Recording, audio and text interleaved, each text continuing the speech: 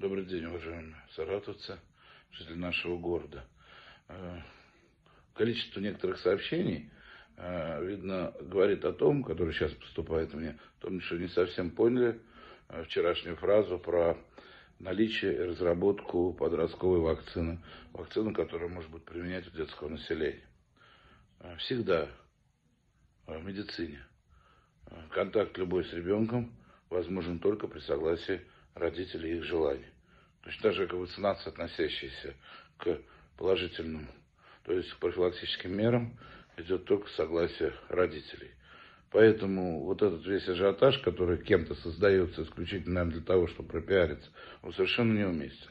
Фраза так, что очень некоторые, многие родители против вакцинации. Несмотря на это, вакцина разрабатывается, так как она, возможно, будет крайне необходима.